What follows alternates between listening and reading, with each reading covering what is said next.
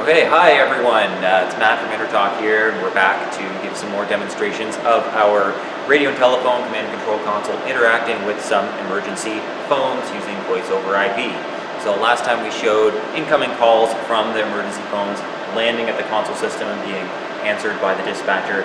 Today we're going to show outgoing calls from the console system going out to each one of the six phones that we have here and then showing a bit of interaction of how um, those emergency phones could be patched through to another telephone caller to create uh, some really interesting interoperability scenarios. Uh, so on the desk here we've got uh, six different emergency phones by six or three different manufacturers. We've got two Talkaphone boxes, we have two GAI-Tronics boxes, and we have two Emcom boxes. Over here on the console screen, uh, I've set up six uh, speed dial buttons uh, for each of the six phones and color coded them according to the manufacturer. So the first one we have up here is the Talkaphone VoIP 500E, number one, and then we have the Talkaphone VoIP 500E, phone number two there. We have the two GAI-Tronics ones there and the two Emcom models as well. So um, sending an outbound telephone call is really easy. You can just click on the button for the particular phone you want to call, and boom, the call just appears right up there in your dialer window, so you know that the call is, uh, is proceeding. And uh, once it's answered, you can see on your VU meter you have audio going in both directions. Um, I'm speaking loud enough right now that my audio is being picked up by the microphone that we have plugged into our console, as well as by the microphone on the emergency phone. But that's how you can uh, place a call to the phone. So it's this first talk phone one that we have here on the desk. Um, we can uh, we actually place that call on hold and then place a call out to the other Talkaphone box by just clicking again the button on the screen. So um, that starts ringing in over at this box here. Um, uh, similarly, We have our microphones and speakers kind of close together here in the lab, so it's creating a bit of a feedback loop. But um, these emergency phones are set up to auto answer, so when the dispatch console sends a call out to one of those phones, the phone automatically picks up and uh, the bidirectional audio is established so the dispatcher can start speaking out to the phone. Anyone who's near the phone, if they're speaking, it'll be heard by the dispatcher. So that auto answer function can be you know, particularly useful, um, especially if you just want to hear if there's any ambient sound or noise in the area of the phone. Um, so next on our hit list here, we've got the two GAI-Tronics models. Um, similar behavior, they also, um, well, one of them auto answers, um, so we'll call that one first. Or actually, we called the, uh, we called this one first. Um, it has a little bit of a chirp, which is its uh, ringtone there that you can hear. It's kind of a quiet chirp. Um, but uh, yeah, so you just answer it by picking it up.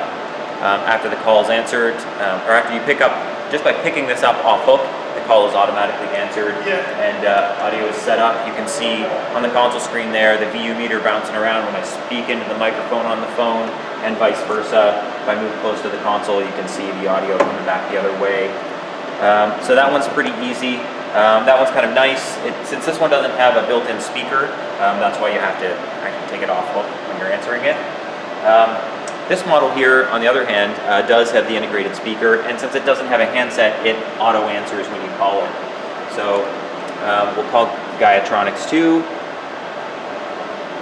So basically that call, um, once that's set up, um, you have audio basically from the console going out that dial, and uh. Again, we've got our microphones kind of close together here in the lab, so it creates a bit of a feedback loop. Um, but that's that's the audio going back and forth between um, the speaker on the phone and the speaker, the microphone on the console position. Um, but that's how you how you can call out there. You can set these up as um, speed dial buttons. You can configure those in any which way. You can configure the text tone and the color and the placement on the screen. Um, you can also manually dial out to phones if you know the phone number associated with them. Um, next, we'll call uh, the Emcom phones. So we have Again, this model here does not have a handset, so it auto answers. So we call Emcom1. It's very interesting that the, uh, the ringtone uh, for that for a number of these phones by default sounds like ring back. Um, but they auto answer, so the call comes in, um, it picks it up automatically, and audio is established between the console system and the phone. Um, and uh, it's just as easy as that. Um, and then to set up a call to Emcom phone number two, I just click that button. You can see here, there's no audible enunciation, but you can see on the screen it indicates call from, and then it gives the IP address of where the call is coming from. Um, so to answer that, you simply take the phone off hook. Once the phone is taken off hook like this, um, audio is uh, established between the phone and the console system. Again, if I just tap on the microphone of the phone, you can see the VU meter bouncing around over at the console. So um, one last scenario that we'll, uh, we'll look at here is um, what if you had a call on one of these phones and then you also needed to get a hold of an external agency such as 911? Well, that's very easy. You can do that from the console. You can see here, I actually still have the two calls from the GAI-Tronics phones and the two calls from the Emcom phones up. I have them placed on hold. I'll now call 911. Don't worry, this is just a simulation. This is not actually calling 911. Um, we have a, a, a, dial route set up in our, our, PBX so that we get a voice coming back um, when we call 911. Now, if you need 911 to be able to communicate with the person on the other end of the phone, that is very, very easy to do. You can simply uh, create a patch and then you can add 911 to that patch and then you could add your GAI-Tronics phone to the patch. And then basically it's, it's just as easy as that. Once they're in the patch, there is complete interoperable communication between the two. And, um, oh, hang on, my 911 call hung up. So this is a, this is a good one. We'll actually um, call 911 again. My 911 call was set up as sort of a, just a short little um, voice recording and then it hangs up. So we call 911 again.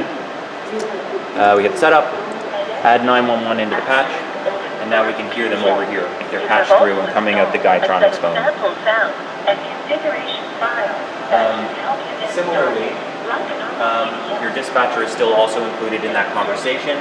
So if you want to um, communicate on the patch, you can see that I'm over here at the console, and I'm communicating, and it's also coming out the phone there. So you can have a, a multi-party uh, conference between your dispatcher, 911, and one of your emergency phones. Um, you can also, um, with patching, you can do that uh, in sort of an arbitrary manner of patching resources to resources. So we can actually take one of our GAI-Tronics phones and patch it across to one of our Emcom phones. And it's just as easy as putting the patch into setup mode and then picking the phone you'd like to add to the patch. So we'll add Emcom 2. Now they are both patched together. So if I basically pick up the, you can see them in the patch window on the screen here. So if I just pick up the microphone on the Emcom phone and do a, a test count, one, two, three, four, five, my audio is going into the uh, Emcom phone here and it's getting repeated back out the GAI-Tronics phone over here. Um, so you can set up multiple independent patches if that's something you need to do. You can set up um, telephone to telephone patch, um, dispatcher to multiple telephones, um, and you can mix in radios there if you want to as well. It's uh, completely flexible how you need to patch uh, resources together, um, and you can have multiple telephone calls um, coming in, going out at multiple console positions. complete flexibility and configurability with, uh, with all of your telephone call and radio behavior. Anyway, that's it for today. Thanks for watching.